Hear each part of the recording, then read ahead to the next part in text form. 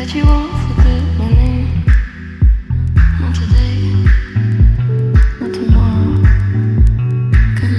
not